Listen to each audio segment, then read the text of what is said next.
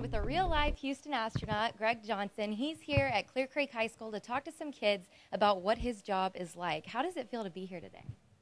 Well, it's really exciting. You know, uh, talking to the kids and sharing with them about space. I remember I was like seven years old when I first uh, watched Neil Armstrong step on the moon.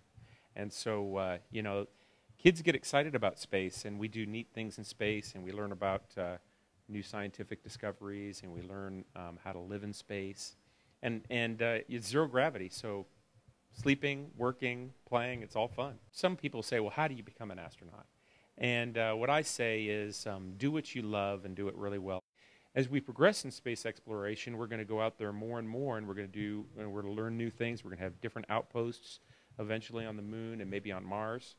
And uh, just like the airplane evolved, you know, 100 years ago, nobody flew airplanes, and now everybody flies airplanes.